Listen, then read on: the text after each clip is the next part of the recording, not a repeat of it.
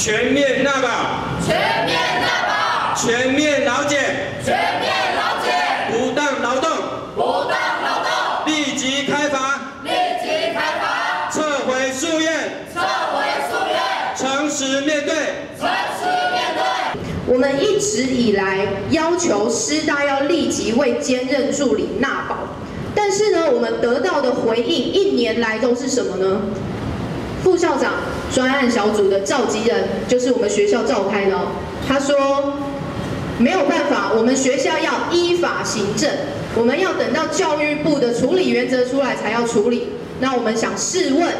今天劳动部已经在在的认定我们兼任助理是劳工，如果是劳工就必须要受到相关劳动权益的保障，为什么学校忽视而不管？成大、世新、辅大、淡江，甚至其他学校都已经开始有纳保这件事了。请问一下，为什么需要等到教育部处理原则出来？所以我们认为学校只是找借口在代呼职守。有一个案子叫做服务学习 TA，这个案子呢，竟然是一一个呃一个学期后才能拿到一次薪水，他必须要工作六十个小时，只能来拿六千块。好，一个学期才拿到一次，已经够夸张了。竟然发生什么事情？一个学期后，三个月已经一个学期过了三个月，还没拿到薪水，这个对于学生来说，生活压力非常非常的大。甚至有部分老师利用上课时间，在课堂上以及其他的场合，做出我们认为非常不理性的一些发言，完全不理会我们提出的充分理由、法理依据。那我们也试着到劳动部进行劳动检举，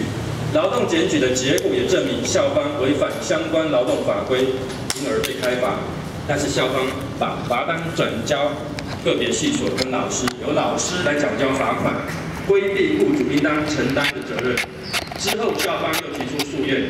而台北市劳工局事实上在日前也已经回复，确认校方违法的事实。那么，另外，校方最近甚至开始要修改研究生奖助学金办法，企图利用教育学习的借口来掩饰劳动的事实，规避劳雇关系，甚至行政人员公开指责我们为了少数人的利益，牺牲多数人的利益。我们认为纳保跟当月薪水当月发。不是少数人的利益，而是全体的利益。一个守法、勇于承担、负责的学校是全体的利益。一个愿意倾听声音、做理性沟通，而不是透过行政程序打压不同的声音的学校，这个才是我们所关注的全体的利益。学校在很多的问题上面，常常都是把投资、经营、效益这些口号挂在嘴巴上。我其实要奉劝学校一句话：人权。基本权益这些东西才是你值得投资的，只不过说它的价值、它的利益不是像你投资一个商店、投资一个 Seven 那么容易就可以看得出来的。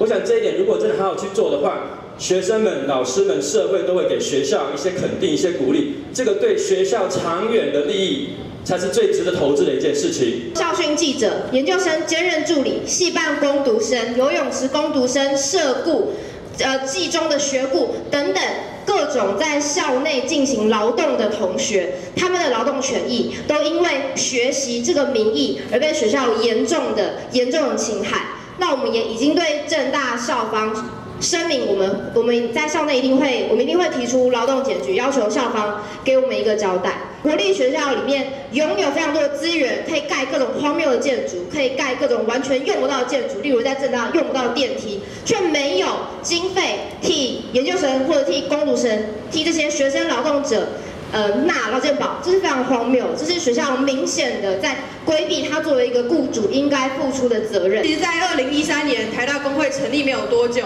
其实也发生过类似的事情。那当台大工会的代表去和学校进行协商。讨论说，校内的兼任助理、这些教学助理、还有研究助理，以及我们校内所有的国科会的临时工们，当他们的劳动权益没有被保障的时候，那其实学校那个时候台大跟师大做了一样的事情哦，就是向劳动部提告，然后告诉劳动部的官员们说，你们不懂什么叫做劳动。那其实我们觉得很好奇是，到底这些大学的高高层们，这些教育部的官员们是怎么样可以去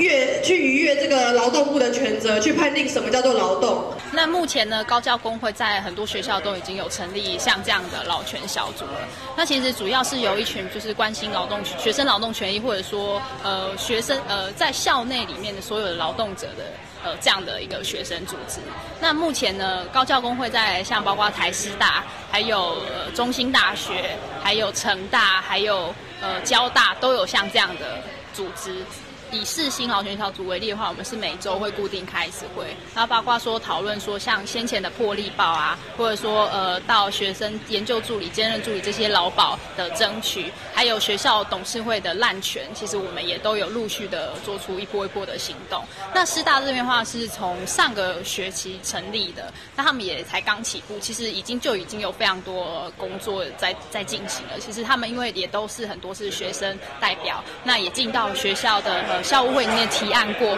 提案学生要纳保，那甚至提案老师的限年生等应该要被撤销。对，包括这些，其实他们已经有许多积极的作为，那现在还持续努力。那各个小组之间，我们其实因为都熟识，所以有一些行动也互相声援或者是串联。那未来呢，也可能希望可以，呃，高教工会这里也希望可以成立一个像是学生委员会这样的组织，就容纳各个大学的。像这样的劳权小组，那有积极的，包括说对于学生劳动权有侵害的时候，我们可以由这个大型的组织一起同时来做回应。Thank you.